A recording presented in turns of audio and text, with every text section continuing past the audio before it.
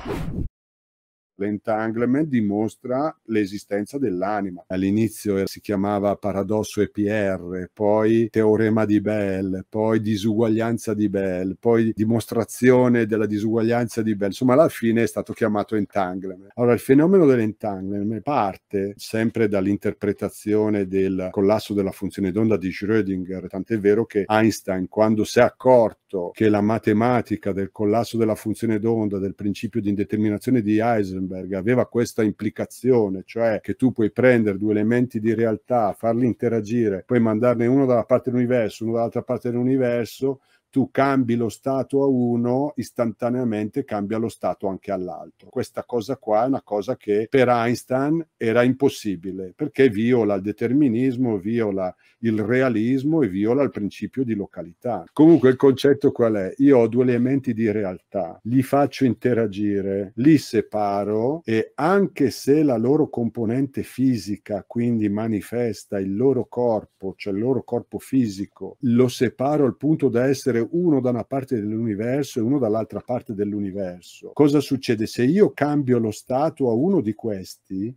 istantaneamente anche l'altro cambia il suo stato. Il loro corpo fisico è separato, non c'è niente che, che permette a uno o all'altro di comunicare il cambio di stato, però loro comunicano lo stesso. L'unica spiegazione è Einstein che non credeva all'entanglement, in realtà è quello che ha dato le basi per spiegarlo, perché è il concetto di campo di Einstein, cioè gli oggetti non sono nello spazio, ma hanno nello spazio una loro estensione come campo che si estende in quello che noi chiamiamo spazio. E l'entanglement che cosa dimostra? Che questo campo che questo oggetto ha, questo campo invisibile che questo oggetto ha, è un campo esteso al punto tale da riempire l'intero universo. Quindi ogni cosa che esiste ha un campo invisibile che riempie l'intero universo.